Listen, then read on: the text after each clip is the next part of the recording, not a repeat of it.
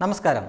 ഉത്തർപ്രദേശ് മുഖ്യമന്ത്രി യോഗി ആദിത്യനാഥ് കേരള കാശ്മീർ അതേപോലെ തന്നെ ബംഗാൾ ഈ മൂന്ന് സംസ്ഥാനങ്ങളെ പരാമർശിച്ചുകൊണ്ട് തീവ്രവാദത്തിനെ പറ്റിയാണ് അവിടെ നിന്നുള്ള തീവ്രവാദ പ്രവൃത്തികൾക്ക് വേണ്ടി പോകുന്ന ജനങ്ങളെ ഉദ്ദേശിച്ച് പറഞ്ഞാണ് വോട്ട് ചെയ്യാൻ പോകുമ്പോൾ സൂക്ഷിച്ച് വോട്ട് ചെയ്യണം അല്ലെങ്കിൽ ഉത്തർപ്രദേശ് കേരളം പോലെ അല്ലെങ്കിൽ കാശ്മീർ പോലെയൊക്കെ ആയിപ്പോകുമെന്ന് അതിന് ചൂടുപിടിച്ച് വലിയ വിവാദങ്ങളൊക്കെ ഉണ്ടാകുന്നുണ്ടല്ലോ ഞങ്ങൾ ഒരു കാഴ്ച കാണിച്ചു തരാം. എന്നിട്ട് ഉറപ്പായിട്ടും പറയാം ഇത്തരം ഒരു കാഴ്ച നിങ്ങൾക്ക് യു പിയിൽ കാണാൻ പറ്റില്ല.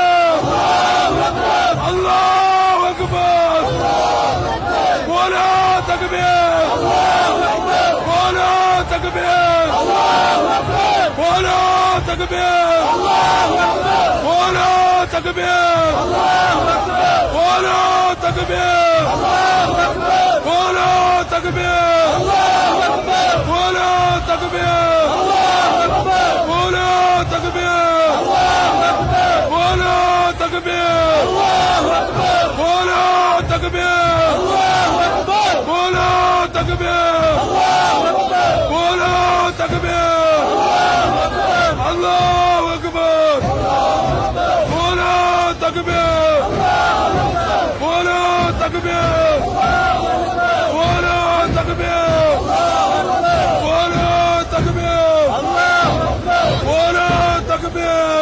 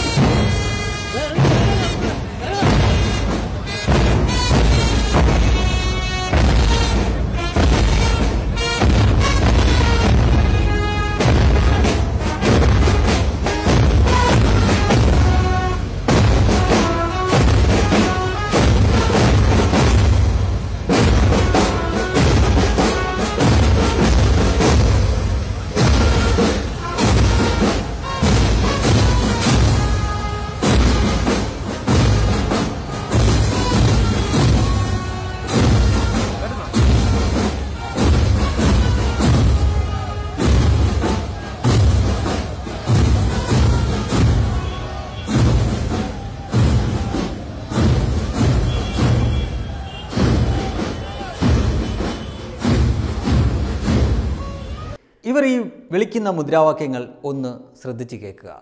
എത്രമാത്രം ആവേശത്തോടു കൂടിയാണ് വിളിക്കുന്നത് നോക്കുക ദേശസ്നേഹം സ്ഫുരിക്കുന്ന മുദ്രാവാക്യം ഒന്നുമല്ല.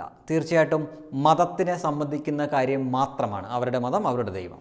ആ രീതിയിലുള്ളതാണ്. അതായത് ദേശസ്നേഹ ദേ നമ്മുടെ ഇന്ത്യ മഹാരാജ്യത്തിനെ പറ്റിയോ അല്ലെങ്കിൽ ഇവിടുത്തെ ദേശസ്നേഹത്തിനെ പറ്റിയോ ഒന്നുമില്ല. അവർക്ക് ചില പ്രഖ്യാപിത ലക്ഷ്യങ്ങളുണ്ട്. ഇത് ഒരു മതത്തിന് മൊത്തത്തെ അടച്ചു പറയുന്നതല്ല. ഇത് പോപ്പുലർ ഫ്രണ്ടുകാരും എസ് ടി പി ടീമൊക്കെയാണ് അവർക്ക് ചില പ്രഖ്യാപിത ലക്ഷ്യങ്ങളുണ്ട് പ്രഖ്യാപിത നയങ്ങളുണ്ട്. അത് അങ്ങേയറ്റം അപകടകരമാണ്. ആ ഒരു ലക്ഷ്യത്തിലേക്കാണ് അവർ പോകുന്നത്. ഈ പ്രബുദ്ധ കേരളത്തിൽ ഇടതുപക്ഷം ഭരിക്കുന്ന കേരളത്തിൽ ഈ കഴിഞ്ഞിടയ്ക്ക് നടന്ന ഒരു മാർച്ചാണ് നിങ്ങൾ ഈ കണ്ടത്.